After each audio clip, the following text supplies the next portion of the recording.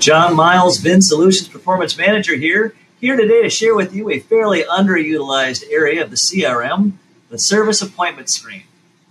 If you're using a DMS of Dealertrack, Reynolds and Reynolds, CDK, or Auto/Mate, we have the ability to draw in all of your future service appointments as they're being set in your DMS. To find those appointments, go to CRM, Dashboard, and then Service Appointments. Once here, you'll be presented with a list of those customers that are arriving for the day. You can use the calendar to extend the range to look at even more customers coming in beyond today's visits. Once we've got our list together, we can use the Refine button to basically go shopping. This list provides us with all the makes and models coming in over the date range we've selected. And from here, we can choose what models we know will work best on our front line.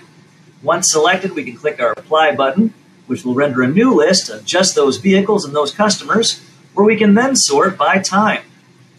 Sales rep or equity.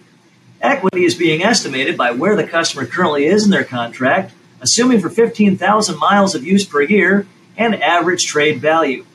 Once we've decided on which vehicles would be best for us to pursue, we then have the ability to assign a sales rep if one's not already been assigned to the customer and then create a task for that sales rep, which could be either a phone call or an email, inviting the customer that while the car is here to have an appraisal done.